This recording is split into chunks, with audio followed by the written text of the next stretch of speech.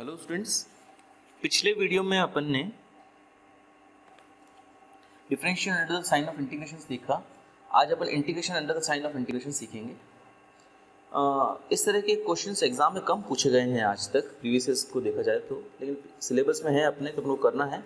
And in fact कुछ important results भी हैं इसमें जो आज से पहले आपने नहीं किए हैं। जैसे ये देखो इंटीग्रेशन ज़ीरो से इनफाइनाइट ई की power minus x square d x आज तक आपने जो मेथड सीखे हैं, अगर उन मेथड से करा जाए तो इसका इंटीग्रेशन होता ही नहीं, कर ही सकते आप लोग। अभी आपको ये करना है कि इसका इंटीग्रेशन जो है, वो रूट पाई बाई टू आपको लाना है। तो इसका इंटीग्रेशन करने के लिए अपन integration under the sign of integration use करेंगे।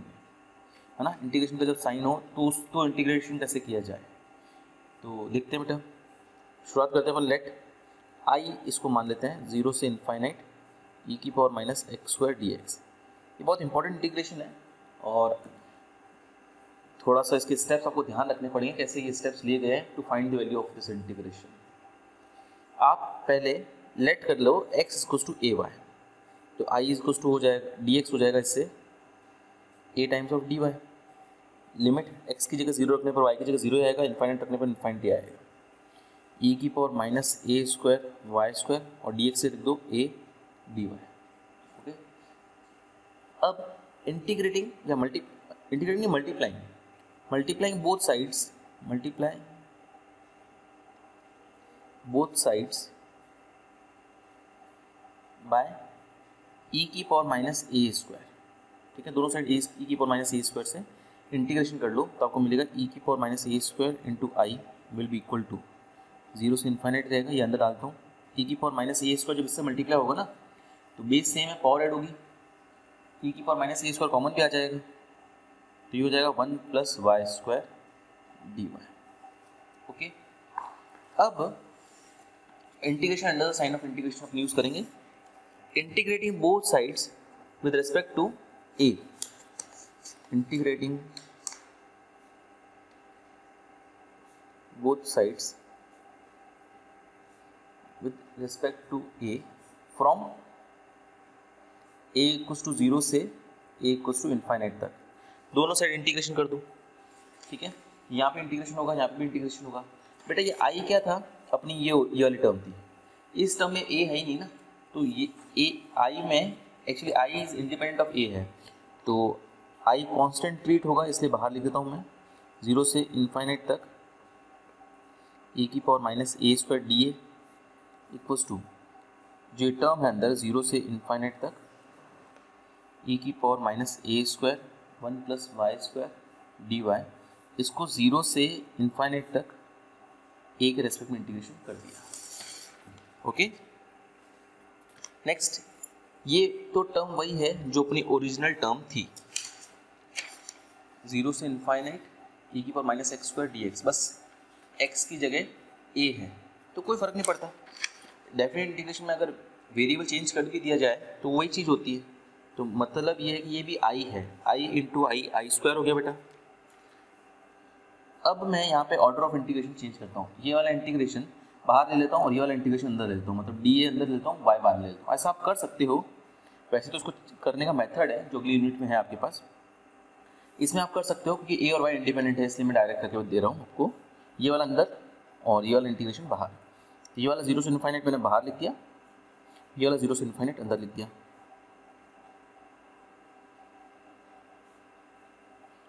डी ए अंदर लिख दिया ना, और ये वाला डी वाई बाहर निकाल दिया। ये दोनों बाहर निकाल दिए, और ये दोनों अंदर डाल दिए। नेक्स्ट ज़ीरो से इनफाइनाइट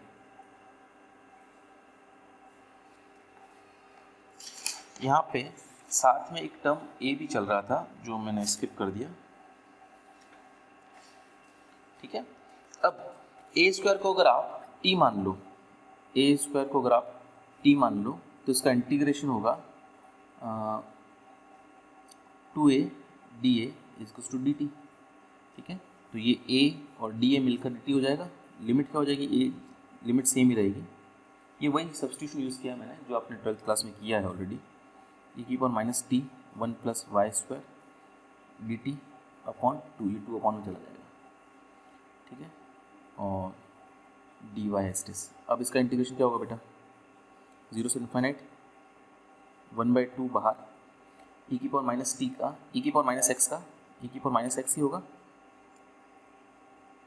टी के रेस्पेक्ट में हो रहा है वाई कांस्टेंट है। टी का जो कॉपिशेंट है वो डिवाइड कर दो minus of one plus y square divide कर दिया। ठीक है? लिमिट्स हो जाएगी ज़ीरो से इनफाइनाइट ज़ीरो से ये इनफाइनाइट अलग है। वन बाई टू तो पूरा कांस्टेंट पूरा बाहर निकाल दिया मैंने। इनफाइनाइट रखोगे तो ई की power minus infinite into something minus infinite E की पावर माइनस इनफाइनाइट होता है ज़ीरो ई की पावर माइनस इनफाइनाइट का मतलब होता है वन अपॉन ई की पावर इनफाइनाइट यानी वन अपॉन इनफाइनाइट ये होता है ज़ीरो और अपॉन में minus one plus y square है, ये चाहो तो बाहर निकाल सकते हो इधर कॉन्स्टेंट मानकर। Zero upon this minus E की power zero upon this d y ये तो ज़ीरो हो जाएगा, माइनस प्लस, ये ई की पावर ज़ीरो वन हो जाएगा। केवल ये बचेगा। ये हो जाएगा I square is equal to one by two zero से infinite of this d y मैं इसको लिख देता हूँ। I square is equal to one by two zero से infinite one upon one plus y square d y है ना बेटा? अब वन प्लस वाई स्क्वायर का इंटीग्रेशन तो अपन को पता है। टेन इनवर्स वाई ज़ीरो से infinite I square will be equal to tan inverse infinite यानी pi by two. Tan inverse zero मतलब ज़ीरो। आई स्क्वायर के लिए हुई पाई फोर तो आई के लिए हो गई root pi by two. Hence proof simple है बेटा, बस स्टार्टिंग के आपको एक दो स्टेप्स ध्यान रखने हैं।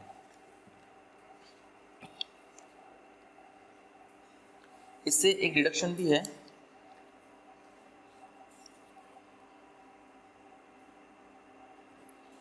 ज़ीरो से इनफाइनाइट तक e की power minus a x square x की power two n d x है रूट पाई अपॉन ए की power n plus half into one three five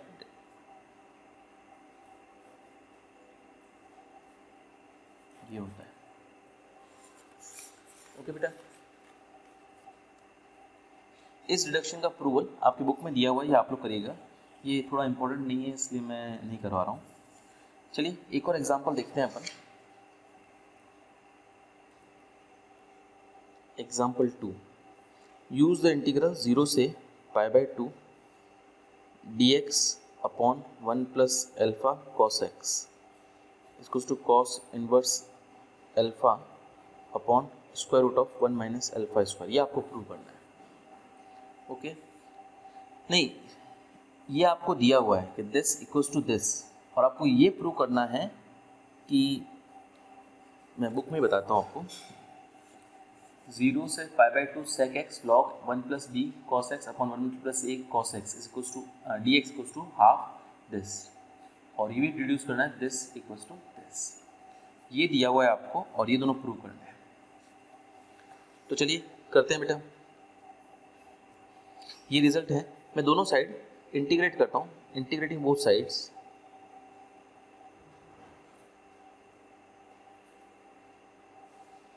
with respect to alpha from a to b मतलब limits alpha is to a से alpha is to B तक integrate करना है दोनों को।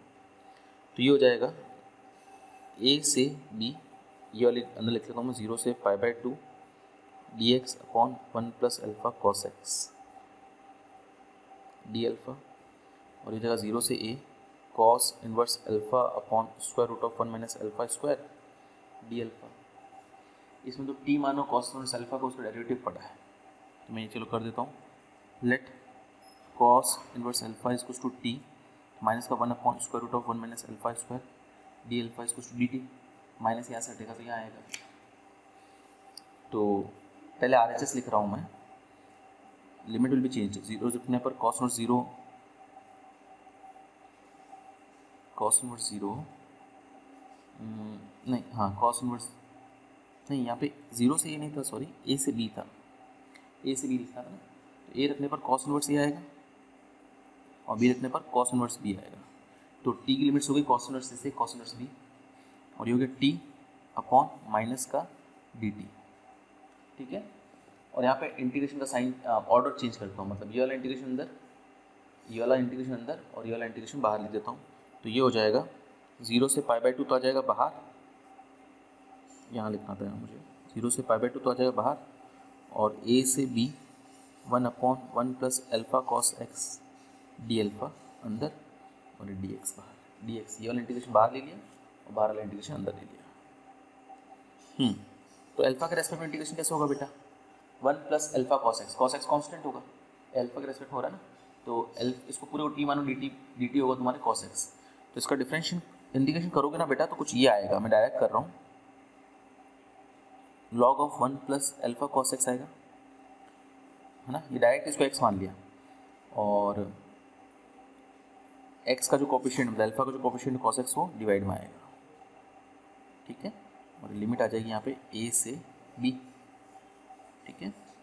Is equals to minus का T का integration होगा t square by two cos inverse a से कॉस इनवर्स बी तक। लिमिट्स रखते हैं अब अल्फ़ा की जगह बी और अल्फ़ा की जगह ए ये हो जाएगा। कॉस एक्स तो कॉमन होगा, मैं यहाँ निकालता हूँ। है ना? इधर से कौन इससे तो बाहर आ सकता है। डी एक्स ना? डी एक्स के रिस्पेक्ट में इंटीग्रेशन इधर से बाहर नहीं आ सकता। तो ये हो जाएगा। ए से b one upon cos x और ये है log of log of one plus b cos x b रखोगे अल्फ़ा की जगह बी की जगह रखोगे तो one plus b cos x minus one plus a cos x log one plus a cos x तो log a minus log b का formula log a upon b होगा, मैं डायरेक्ट ये लिख देता हूँ.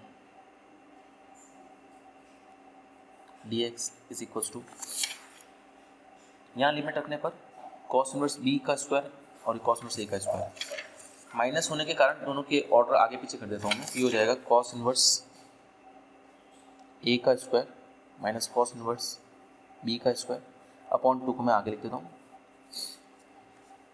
पहला वाला प्रूव हो गया, ये करना था आपको। कॉस एक्स ऊपर आके सेक एक्स बन जाएगा बेटा ना। तो काम करता हूँ मैं कॉस एक्स हटा के यहाँ पे सेक एक्स लिख देता हूँ। तो पहला वाला तो प्रूव हो गया बेटा।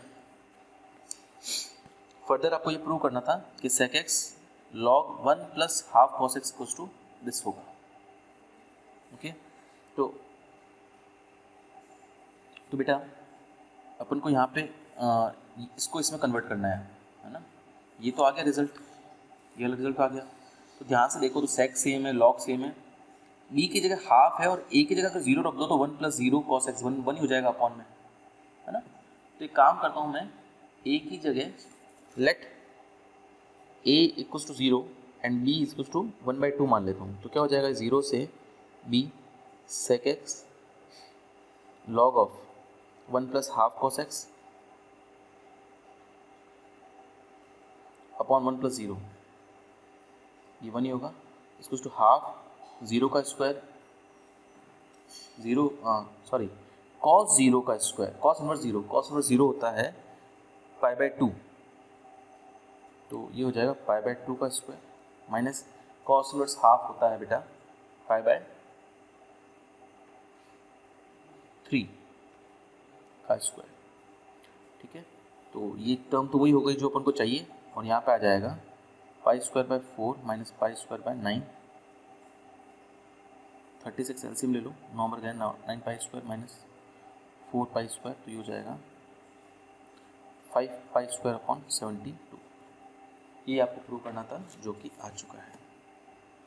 हैंस प्रूव दोनों चीज़ रिड्यूस हो गए बेटा। ये भी बस ये दो ही एग्जाम्पल्स थे आज। ये चैप्टर आपके कंप्लीट होता है। इस तरह क्वेश्चंस हैं आपके एक्सरसाइज में, आप लोग प्लीज़ कीजिएगा।